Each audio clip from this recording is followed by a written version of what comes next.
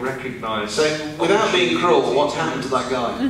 He, he's now professor of music in a university, which is probably the best place for him. Right, right, perfectly happy, Yeah. but Yeah. didn't grab that opportunity. No, and I think there are people that don't that don't realise these Mm. moments, you know, and um, that you've got to grab them. They're not, they won't necessarily lead to anything, but at least you can say, "I tried," Yeah, yeah.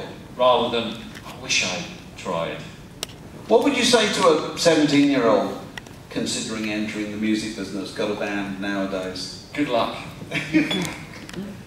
Why? You say that because it's harder now than it was? It's always been hard. It's just, um, but uh, well, I'd say just follow your gut, follow your gut reaction. Don't try not to listen to too many people, and, and do what you think is.